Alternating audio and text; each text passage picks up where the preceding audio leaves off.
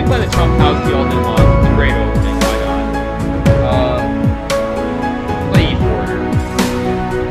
Uh, I was gonna play this one. 92. This one's a little bit dubious, I think. Guess I'll go Queen G4 to pressure the pawn. He could play F5, but I think it's a little bit dubious here.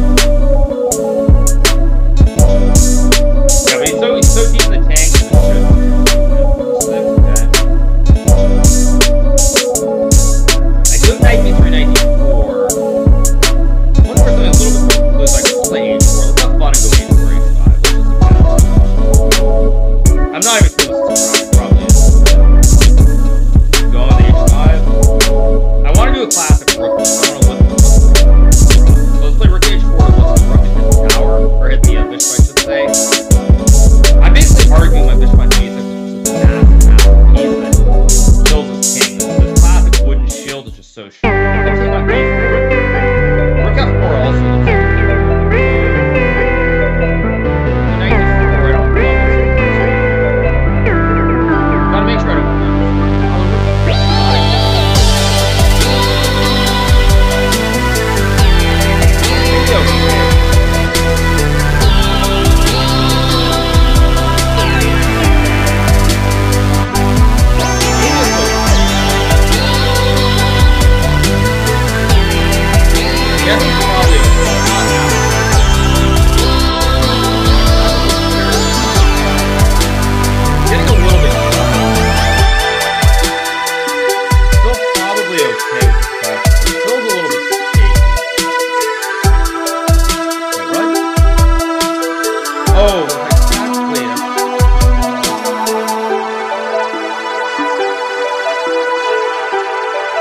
Oh, oh,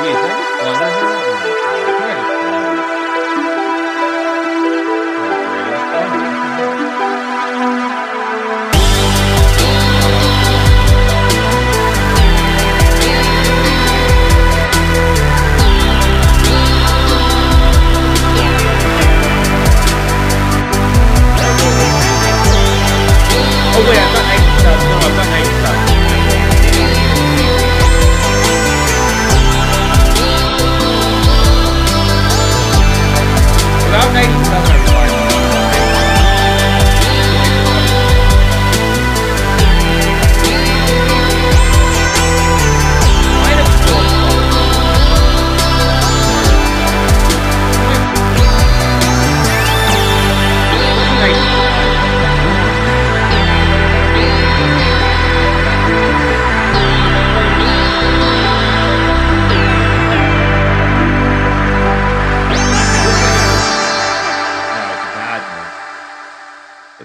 Terrible move. I should have just taken this pawn. What am I doing?